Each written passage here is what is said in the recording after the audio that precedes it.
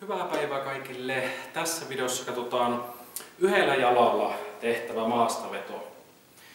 Tai tämmönen yhdellä jalalla tehtävä suorin jaloin maastaveto, pitkä termi.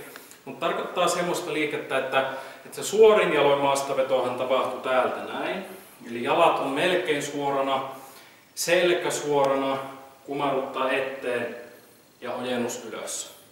Ja nyt tässä tehdään yhdellä jalalla sama, mutta nyt kun ollaan yhdellä jalalla, niin tulee aika paljon tasapainoilua, enemmän vaatii ja haastaa vähän enemmän pakaroita. Sen takia, että pakaroiden tarkoitus on pitää tämä lantio paikalla, että se ei lähde sivulle, vaan pysyy suorana. Ja vähän enemmän myös keskivartalon lihaksia haastaa, kun ollaan yhdellä jalalla. Ja kaikkia pieniä tukilihaksia. Ja saahan treenattua molempia puolia itsenäisesti, niin tosi hyvä variaatio. Ja tämä voi tehdä tangolla. Ensin haetaan hyvä ryhti, paino yhdelle jalalle. Ja nyt lähdetään kumartumaan tuonne varpaita kohti ja ojennus ylös. Sille, että selkä pysyy suorana, hartiat takana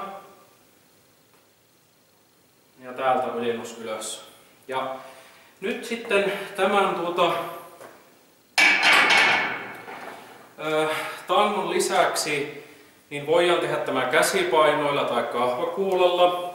Ja voidaan ottaa pelkästään yhteen kätteen paino. Ja nyt tämä muuttuu vielä vaikeammaksi siinä mielessä, että äh, tässä voi olla joko niin kuin vastakkaisessa kädessä, että jos oikealla jalalla teen, niin nyt on vasemmassa kädessä paino. Mutta se, mikä nyt otetaan samaan puolen kätteen, niin tässä pitää keskittyä siihen, että vartalo ei lähde tällä tavalla kallistumaan nyt sivuttain, vaan lantio tuonne eteenpäin, kroppa pysyy suorana. Ja keskitytään pitämään tämä asento näin, että lantio pysyy eteen ja kroppa suorana, polvia, varpaat, kaikki on menossa tuonne eteenpäin. Täältä näin. Eli helposti käy silleen, että lähtee, lähtee tuota lantio tälleen kääntymään ja kroppa kääntyy vähän tälleen sivuttain. Niin siihen pitää tässä keskittyä. Sitä voi, voi tuolta peilistä tsekata sivulta tai edestä.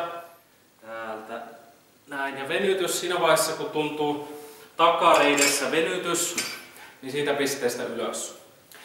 Ja nyt tärkeä pointti on se, että voi tietysti nostaa asioita vähän eri asennoista.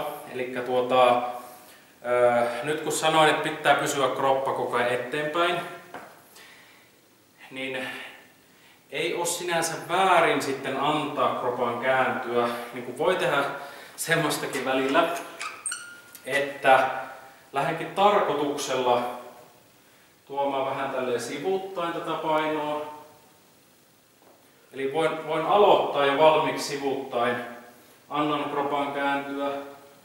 Tätä voi näinkin tehdä, et ei ole varsinaisesti väärin, mutta pitää, tärkeää on se, että sinä tiedostat, missä asennossa sinun vartalo on. Se on yksi tärkeä osa, mitä tahansa treeniliikettä sinä teet, oli pystypunnerus tai mikä tahansa, että sinä tiedät, miten sinun vartalo on ja miksi, niin kuin miksi sinä teet asioita tietyllä tavalla. Niin se on semmoinen tärkeä pointti. Mutta tässä tämmöisiä hyviä, muutama tämmöinen vinkki. Tämä on tosiaan tosi hyvä variaatio. Voit treenata puoli, puolieroja ja tasapainoa. Ja tätä voi tehdä ihan ilman painojakin, vaikka alkulämmittelynä. Usein teen itse ennen semmoista maastavetoa, siis normaali maastavetoa täältä, semmoista treeniä ennen teen usein lämmittelynä tämmöistä liikettä, että käytän, käytän sormea tuolla maassa, aktivoin tällä tavalla tuota takaketjua ja just kaikkia tukilihaksia tällä tasapainoilulla, niin tämä on ihan hyvä. Ja sitten semmoiselle ikäihmiselle tuo voi olla jo ihan haastava treeniliike. Puhutaan jostain eläkeikäisestä ihmisestä, niin voi olla ihan niin kuin täys treeniliike tuommoinen ilman painoja. Niin tässä tämmöisiä vinkkejä, mitä kannattaa testata.